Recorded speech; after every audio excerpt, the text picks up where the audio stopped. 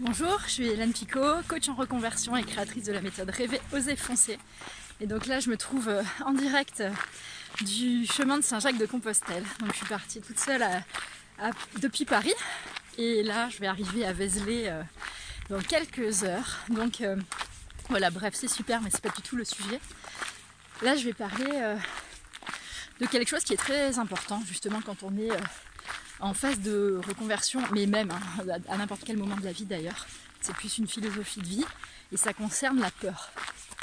En fait, euh, bah, beaucoup de, monde, hein, enfin la plupart, euh, disent oh là là, j'ai peur de me reconvertir ou euh, j'ai peur de faire ceci ou cela, j'ose pas, j'ai peur de ne pas être à la hauteur, j'ai peur du regard des autres, j'ai peur du jugement, j'ai peur euh, d'échouer, j'ai peur de, réussir, parce que quand on réussit, euh, on a aussi cette peur de, rayonner, de briller parfois.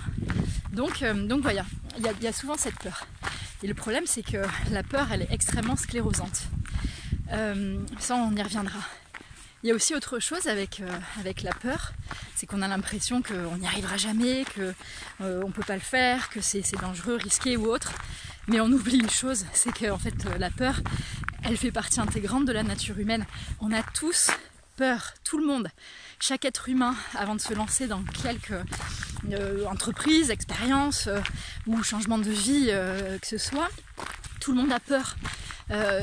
Même un sportif de haut niveau, avant de faire, j'ai pas, une grande cascade, heureusement qu'il a peur. Euh, parce qu'en fait la, peur c'est une sorte de, trac aussi mais c'est super positif. Ça peut l'être en tout cas. Euh, ça nous permet justement de ne pas prendre des risques démesurés des risques qui engageraient euh, bah, notre, notre vie quoi. Donc la peur elle est, elle est présente chez chaque être humain depuis, depuis les origines quoi. Heureusement que on a eu des moments de peur pour pouvoir continuer à avancer et, à rester voilà en vie. Maintenant, la peur, elle est aussi faite pour être dépassée, parce que sinon on reste sans cesse dans sa zone de confort, et puis euh, et puis on n'avance pas en fait. Donc du coup, euh, la peur aussi, il euh, faut, se dire que c'est quelque chose d'extrêmement sclérosant. Quand on a peur, on, on est tétanisé, on n'avance pas. On va aussi produire euh, l'hormone du stress, le cortisol, qui va faire que ça sclérose encore plus, que ça annihile toute la capacité de, réflexion, hein, de, de, penser, d'émettre une stratégie. Enfin, on est complètement comme un petit lapin dans les phares d'une voiture, comme ça. Et, et puis en plus, euh, ça fait, euh, ça, voilà, ça produit vraiment. Euh, enfin voilà, ce cortisol, c'est très très néfaste pour la santé et puis pour toutes les cellules et puis pour beaucoup aussi d'autres choses. Bref, la seule manière de sortir de ce schéma sclérosant, bah, c'est d'avancer. C'est de se mettre en route, c'est de se mettre en chemin. Regardez comme c'est beau. Et puis, c'est de se mettre à l'action, c'est de faire le premier pas, c'est de décider de sortir de sa zone de confort quelle qu'elle soit, d'avoir un rêve, un projet, euh, quelque chose, un objectif, et puis d'y aller petit à petit, hein, étape par étape, en faisant un pas après l'autre. Et en faisant un pas après l'autre, bah, vous voyez là j'en suis déjà à presque 300 km.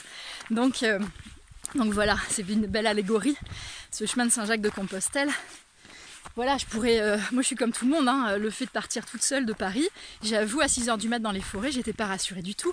Mais si j'attends euh, en me disant, bah non, euh, je le fais pas, où il faut attendre une personne, où il faut attendre voilà, que tout soit parfait, tout soit nickel, qu'il n'y ait absolument aucun risque, ben on n'avance pas et on reste chez soi.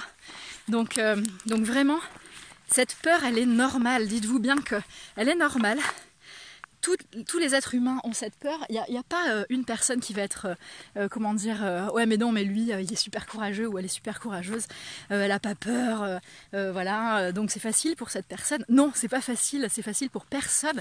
À la base, c'est vraiment un choix. un moment, on se dit bon, c'est maintenant et on y va et on va la surmonter cette peur. Donc voilà, surmontez-la, avancez, votre vie n'attend pas vraiment. Donc donc euh, listez ce que vous voulez faire, les petits objectifs, les grands objectifs, les énormes rêves, et, euh, puis euh, toutes les idées que vous avez, et mettez-vous à l'action, voilà, un pas après l'autre. Et c'est comme ça que vous allez dire merde à la peur. C'est en avançant. Je vous assure que quand vous allez commencer à faire le premier pas, la peur, euh, elle s'en va. Euh, ça, ça ne fait aucun doute. Donc, donc voilà. je vous fais plein de bisous et puis en avant, n'oubliez pas, rêver, oser et foncer. Allez, bye